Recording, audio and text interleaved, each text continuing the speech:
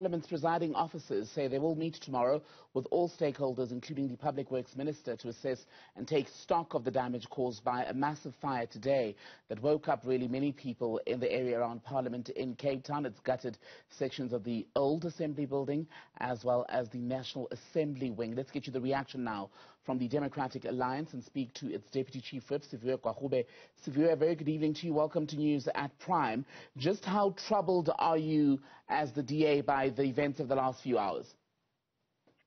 And uh, good evening, Tim and to your viewers. This is obviously a deeply concerning um, uh, turn of events. It is uh, that is why we think it's absolutely important to quickly and urgently get to the bottom of this because it's quite important to understand whether or not there was foul play involved in this fire that happened today or whether there were te- technical uh, faults that led to the fire. But ultimately, Parliament is a national key point, and it does not belong just to the people who are members of Parliament or the staff of Parliament, but to South Africa. And so it's absolutely critical that we get to the bottom of this. And we obviously uh, pay great tribute to the first responders who came um, and uh, to try and control the fire.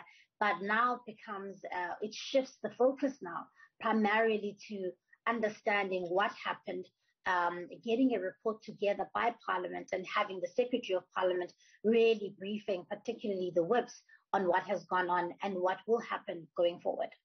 And what, what, a lot of people have reacted to in the last few hours is the revelation that a lone man has been arrested for apparently breaking into the building and stealing some of the, the the, I don't know, what shall we call them? Some of the belongings of Parliament, shall we say, tonight. But people mm-hmm. are saying, how is it, precisely because Parliament is a national key point, that one person was able to break in, steal, and start a fire? That then raises serious questions about the level of security.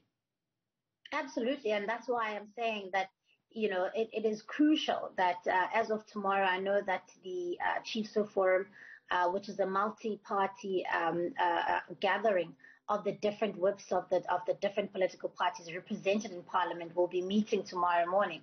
And those are some of the questions that we're going to be asking because we are expecting a briefing from Parliament exactly what has gone on. Because of course, Thembekile, we also know that Parliament is under the guard and under the protection of the South African Police Service. And so it would really, and I mean, you know, large amounts of money are spent every single year for the protection services that are stationed at Parliament 24 7. And so it begs the question that really, if there has been somebody who's been suspected um, of, of foul play in this fire, how is it that they were able to get through uh, past SAPS? How is it that they were able to get into a really heavily guarded um, uh, uh, uh building?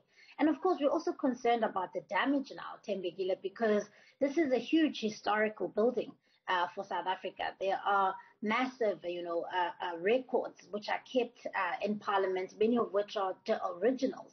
There's a library in Parliament, and that's why the extent of the damage needs to be assessed very quickly so that we can make sure that we know exactly what has been lost. And also then a recovery plan is needed quite swiftly um, uh, and that's why the Secretary of Parliament will need to be able to brief um, us in the coming days as to exactly how we're going to recover what is lost and also recover the building. Because what cannot happen is that we cannot allow the business of Parliament then to be stalled uh, by what has happened. And so we've got to get contingency plans in place very quickly because ultimately the country needs us to get back to work.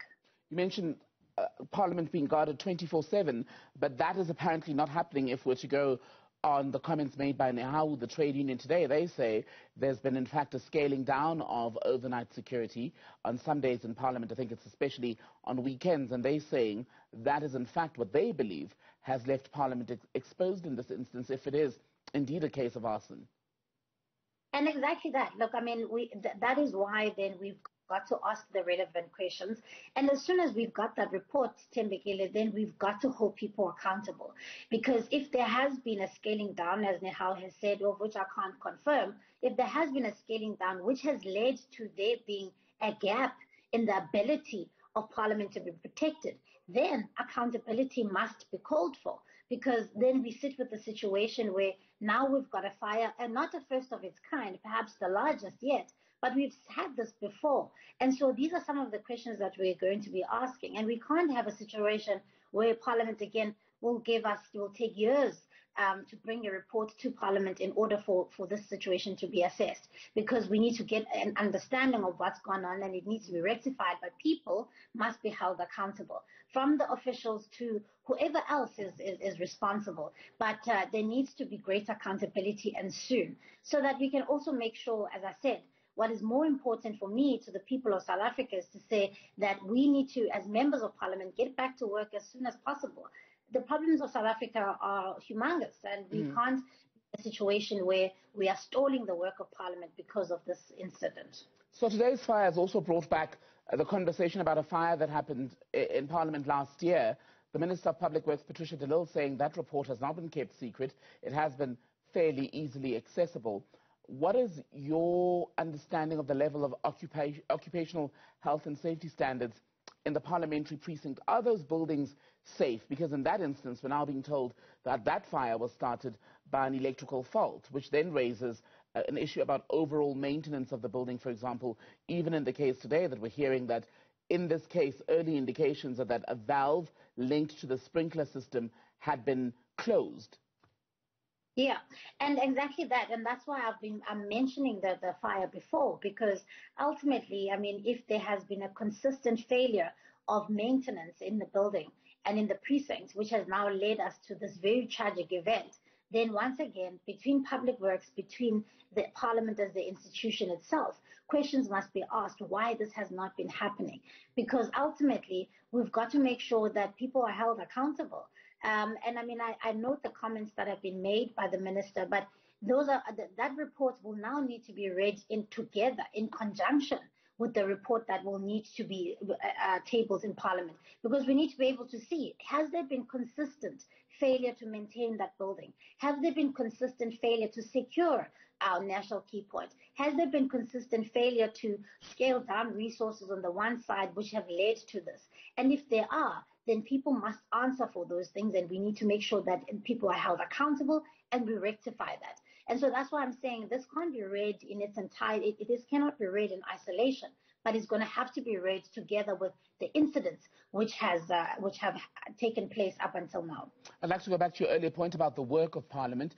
The impression given today is very much that there'll be no impact at all, or there's no disruption at all, or very little disruption. So now we're hearing could go ahead at an alternate venue, for example. It could also be a hmm. hybrid event, as we've seen due to the pandemic. Do you really believe that there'll be no impact at all on the work of Parliament during this period of repairs? We need to demand that there isn't, uh, Thembekile, because as I said, I mean, the, the problems of our country require us all to be at work. South Africans are getting back to work and there's many things that we need to attend to. So we absolutely can't have a situation where the work of parliament is being stalled. When it comes to the opening of parliament, of course, there are many uh, you know, various uh, uh, uh ceremonies which need, which are accompanied by the event.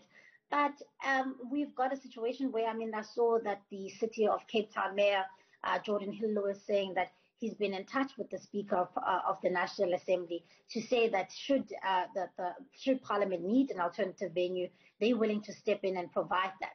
But at the end of the day, we also have seen Parliament transition from uh, having uh, the, the institution work in a hybrid manner. And so there's absolutely no reason why we cannot get back to work, and there's absolutely no reason why we cannot continue with the business of Parliament. A number of committees are meant to be beginning their work now towards the end uh, or the middle of toward from the middle to the end of January. That needs to happen in co- concurrently while we're dealing with this matter.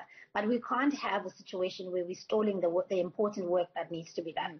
Let me ask you about uh, uh, something else from the party reaction. The EFF is saying, um, devastating as this is, it perhaps presents an opportunity to revisit an old conversation to do with taking Parliament and moving it to Pretoria, strategic because people say then you'd have the union buildings and Parliament in one space as well as the, the main offices, shall we say, of the various ministries. What is your position yeah. on that? Look, I mean, uh, firstly, I mean, my view is that it's it's uh, it's uh, perhaps it's not the occasion uh, uh, for this kind of conversation. As you've said, it's an ongoing discussion which has had which has been had, and of course, Parliament must uh, occupy itself with understanding you know, you know, does it make financial sense? Is it financially viable to move Parliament um, to, you know, from the seat which has been the seat of the legislature here in Cape Town to Pretoria? I think we shouldn't, uh, you know, split hairs or um, be concerned about where the venue of Parliament, but perhaps we should be more concerned about whether or not Parliament is being effective in South Africa. And so I think the conversation should be looked at in, in you know, looking at in, in the context of is it financially viable? Will it work? And uh, and and is the matter now urgent enough for us to to revisit it? Mm-hmm. But for me, I think the big priority, and I think ordinary South Africans are looking at to us to say it doesn't matter whether you know Parliament is in Epish or Okanye in Cape Town. What matters is whether or not is Parliament working, and that's what we need to make sure that we we, we don't actually uh, see any stalling of the work that needs to be done, and we need to see a far more rigorous um, a, a, a, legislative arm that mm. will insist on accountability a lot more now than ever before. Siviwe Gwarube, great to have your time. Thank you so much for being on News at Prime tonight.